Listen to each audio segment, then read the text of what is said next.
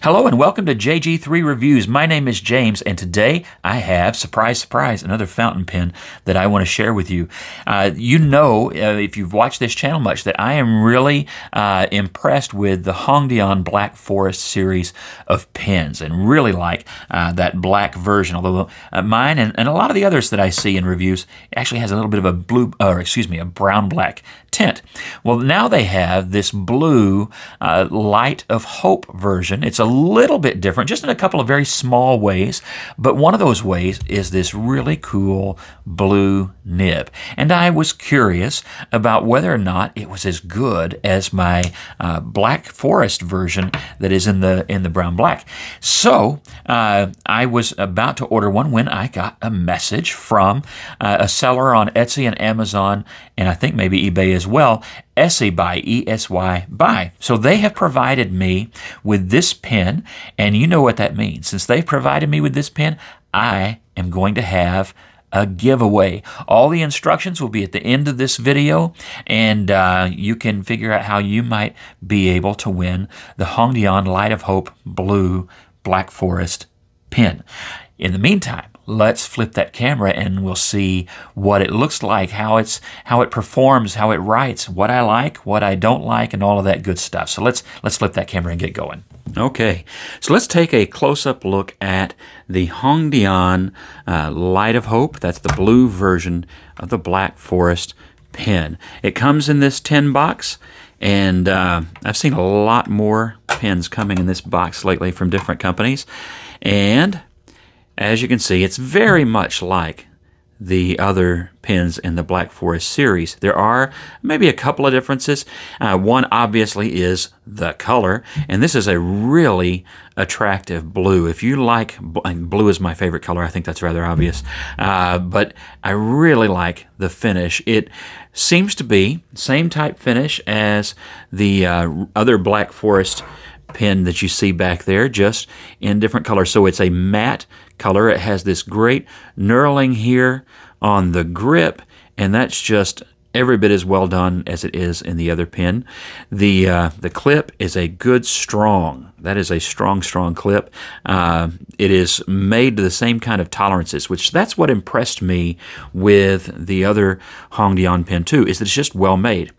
Hongdian is a company in China that's been around for um, over a decade, and they've been making pens for other companies. And so I don't know exactly who they've made pens for, but they're an OEM manufacturer for other fountain pen companies. And that's why they have the level of expertise that they seem to have. Because if you're like me, it seems like uh, just a while back they just kind of showed up out of nowhere and then just started churning out model after model. And so far, every one that I've got, and I've, I've got uh, I've got another one that'll be coming up here pretty soon that is quite different from these pens, and it is just as well made. Totally different style, but uh, stay tuned for that. They they have a a good variety of designs and pens, and so far, everything that I've I've got I, I like. Uh, it is a little bit different from the other Hongdian Black Forest in that this time it just has a flat uh, logo and the name and everything here on the top of the cap. And so instead of an inserted finial like this one has, it has uh, just a stamped one. And uh, I don't know if that was just, you know, a little bit of cost cutting or just they wanted a design change. I actually prefer this, and I think if if you had this, but with that blue background and this in silver, I think that would have been a pretty cool design. Uh, so, you know, that's a little bit different. Otherwise, I think the rest of the exterior of the pen is very much the same. You had these two lines uh, just to break up this solid section here. The fit and finish of the cap as it snaps on, as as good as ever. Very tight. No, uh, there's friction there. It doesn't turn loosely at all, and it just is extremely well made in that regard. And this will post, although it makes for a very long pen, especially with that uh, thinner grip section and nib. So I would write with it unposted, and I do write with them unposted.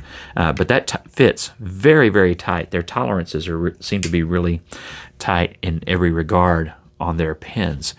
So, if you're familiar with the other, then you know what you're getting in the overall design. There will be that change in the finial at the top.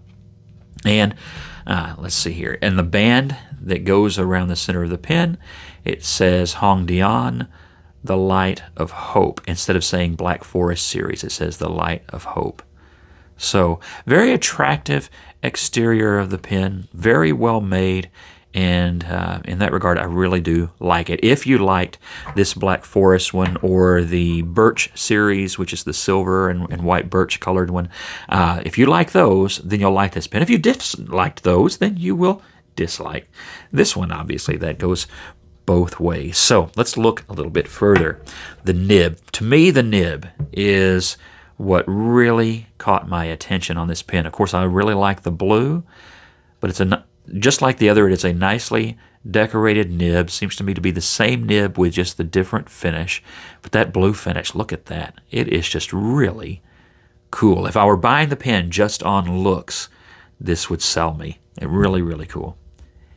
And so, uh, one thing I do like, uh, sometimes people don't like metal uh, grip sections because they can be slippery. I have a, uh, a Lamy Studio, which I'll review here in a few weeks.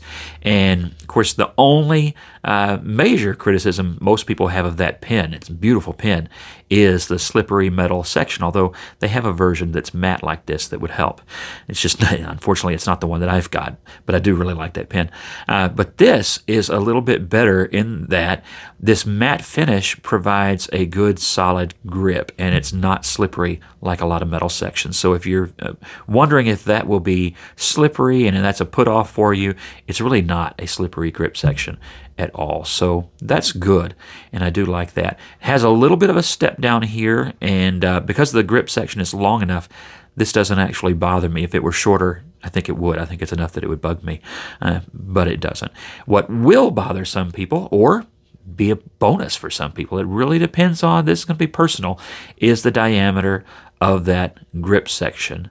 The diameter is small, so this is a bit of a thin pen. If that bothers you, especially if you write for a long time, you do need to keep that in mind because it is not uh, a thick section at all and you will either like that or dislike that again that's it's a negative but it's only a negative if that's a negative to you that's a, a personal preference issue.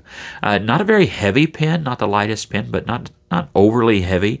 Uh, I'll put the dimensions up here and everything so that you have that. But yeah, as far as the nib goes, I uh, I like the design. Typical flat plastic, plastic, plastic feed. And it does come with a converter. And in fact, this would be one of those things that uh, I think you need to consider on this pen. If uh, you're someone who typically uses cartridges instead of converters, uh, it does. I'm not real sure. Uh, I've tried every cartridge I've got, and none of them are quite right. So I'm not exactly sure. Uh, if you know for certain what cartridge this uses and what converter size it is, please put that in the comments below. Um, I, I thought I had it figured out when I reviewed the first one, and then uh, that turned out not to be correct. So I'm just going to say I'm not certain. Uh, I, have heard people say uh, that it fits a particular brand's converters, but I don't have those available, so I can't say that for sure. Uh, so I would consider this pen uh, for myself. You can do your own thing. Uh, but I consider this pen for myself a converter pen. I don't consider it a converter and cartridge pen. You can get them. They are available sometimes on Amazon or eBay or whatever. You'll find uh, uh, Hongdian cartridges. Uh, they're they're not as inexpensive as some other cartridges, and I don't remember if that was because of the size of the box, how many it was in it, or if that was the per cartridge price. But uh, I know that it was enough that I didn't bother. Uh, I would just get your own ink bottle and use it as a as a converter pen, and that's that's what I do with mine. I keep my brown one uh, filled up with uh, Monteverde brown sugar. It's an awesome match to that pen, uh, and then this has actually a Birmingham Pens ink in it right now which I'll mention when we get to the writing test. But that is the basic overall design. Not a lot of change. Mainly it is color. Uh, it is available in different nibs. This is a fine. I know there's an extra fine, and there is a mini Fude nib. I have not tried in the Forest series, the Mini Fude.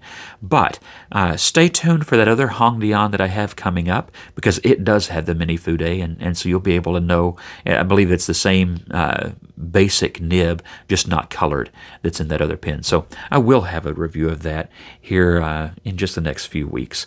But as far as looks go, I like it. But let's see how it actually works. This is the Hongdian.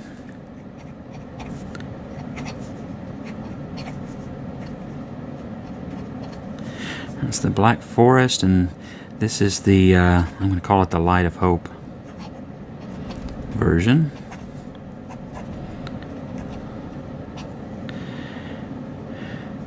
And this is a Birmingham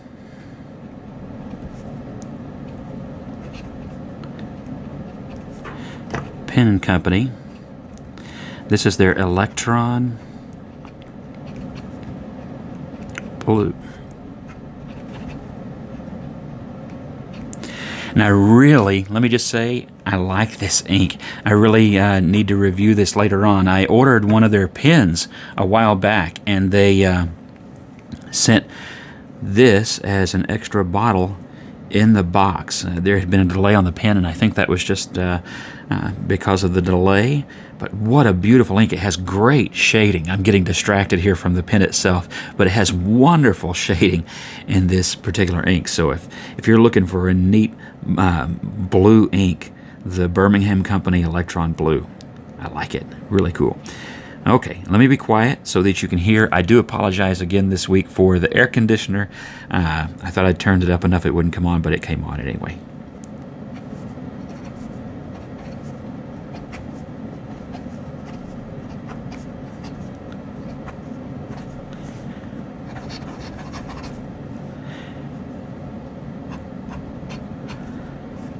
So nice wetness there, and especially with this ink, uh, that gives you uh, some some neat shading and variation in the color. So that's cool. You will notice that it is not a very loud pen. Now my microphone's kind of sensitive, so it may sound like there is a lot, but there is not a lot of uh, sound coming from that nib. It's it's a nice smooth nib, and I, that was something I wondered about because my uh, my other Black Forest pen had such a smooth, fine nib, and I know that a lot of you have said you've had the same experience with that fine nib, just really smooth. I wondered since it's a different finish, you know, it, it, it's not just a different color. It seems like a, a different technique in coloring it.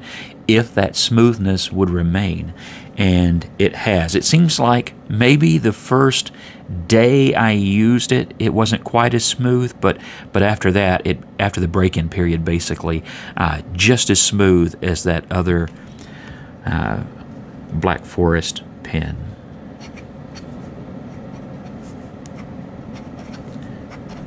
This is, by the way, I didn't say that, but this is a fine nib.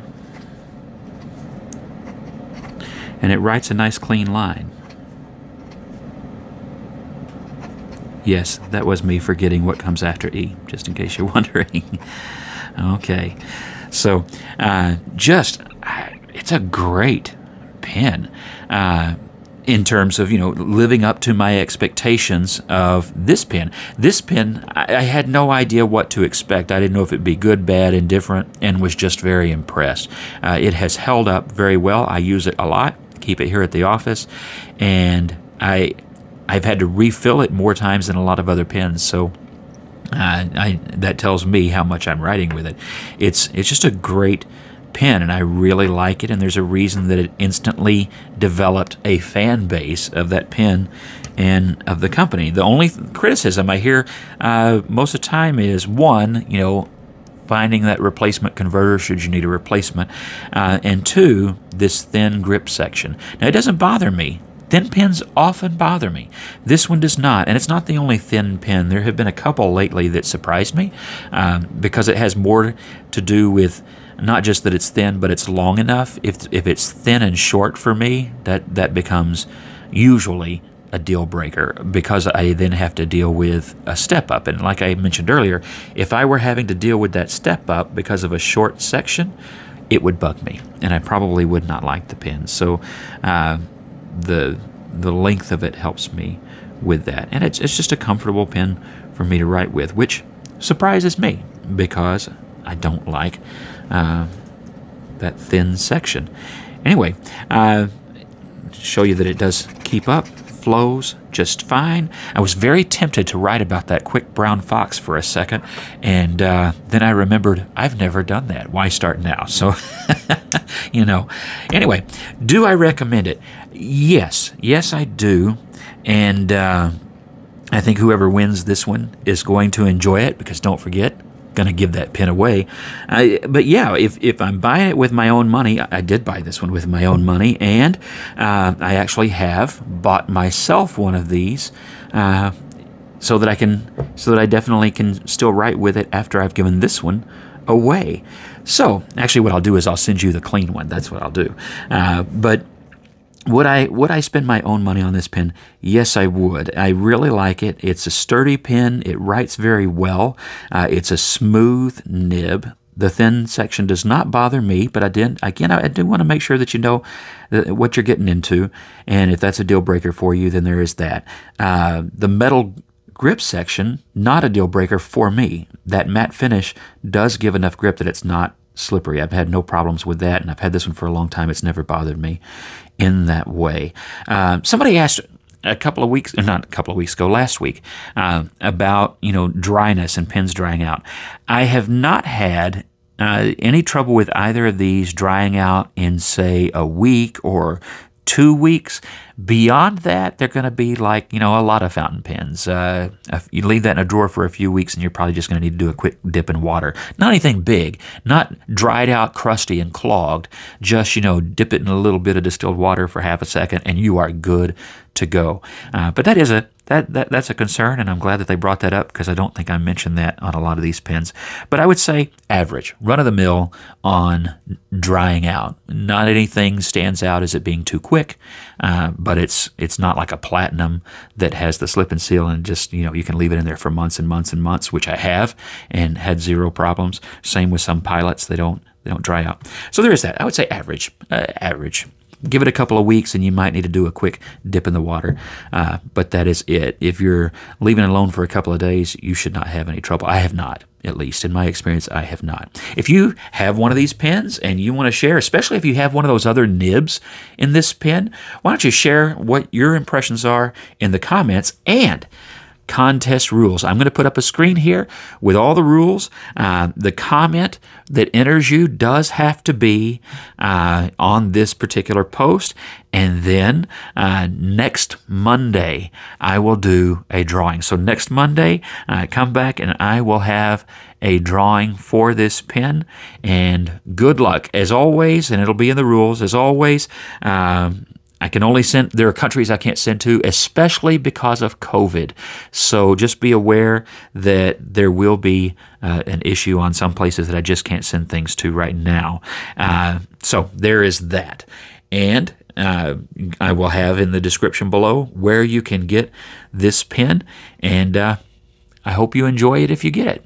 God bless you. Have a great week. Stay safe. And I hope that you have a great Labor Day weekend if you're here in the U.S.